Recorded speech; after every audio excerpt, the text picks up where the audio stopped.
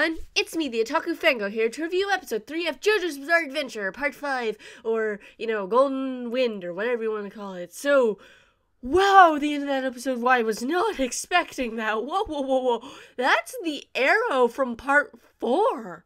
What is he doing with it? Why does that stand have it? And what. Huh?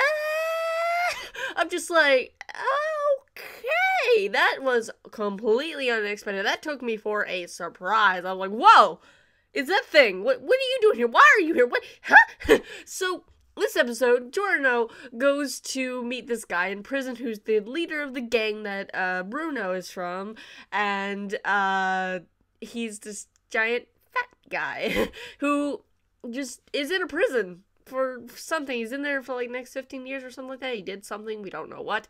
That's at least what uh, Giorno was told. And I'm just like, okay, that's not what I was expecting at all. And I was just like, like nobody had seen this guy's face before, and now Giorno suddenly gets to see it. Apparently, that's what he was told. So I'm just like, okay then.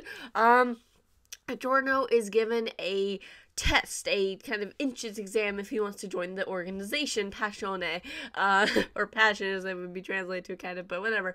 So his test is to have this lighter and have it not, the flame not go out, and I'm just like, do you know how hard that's probably going to be? and it was definitely a challenge for him, but the biggest thing in this episode lies with the very, very ending with the whole. You see, Pope. I think his name was Populos. Uh, the guy who's like the leader of the gang. Uh, Populos Stan. We don't know the name of Stan, but it has that arrow from part four. I'm like, what is it doing?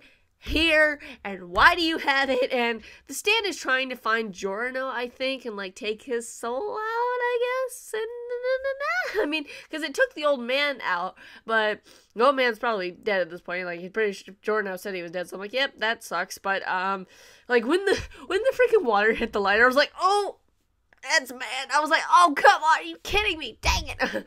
but anyway, also Koichi uh, made an appearance in this episode as he was trying to get back his passport, and yeah, he got back his passport, I guess. But anyway, with Giorno, though, I'm just like, why does Popolo Stan have the arrow ah, like that is just so like intriguing. I'm like, why? Because honestly, I don't really remember what happened to that thing in part four. It, it's been a while since I've seen part four, like when it aired, so I don't really remember what happened to that thing. Um, but yeah, it's back now, I guess. So that's a thing. Um, man, though, this episode just that one part just of the stand having it just that was like shocking. I was like, what?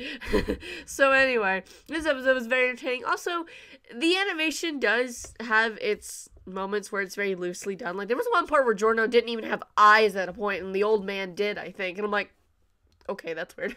Um, but it's kind of suffering from the Bungo Stray Dogs animation where if characters are far away, they just have no eyes, no facial features whatsoever. It's weird.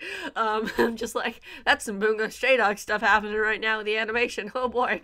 But um, anyway, this episode was very entertaining. I'm just, just, just because of that end part, the end part got me. I'm still like, what, Like, I need to know. Oh man, but I'm just gonna wait until they explain it. But the next episode is titled Joining the Gang, so I'm assuming that Giorno is gonna pass this test somehow. Maybe he'll defeat the stand, and then Popolo's gonna be like, "Oh, I'm scared. No, please, I'm sorry," or something. I don't know. Uh, I highly doubt that though, because like I don't think Giorno would become leader of the gang like you know that quickly and everything. So who knows? But I was just, oh boy, JoJo is still good. So what did you guys think of this episode? What do you think is gonna happen next? And I'll see you guys in whatever I review next. Bye.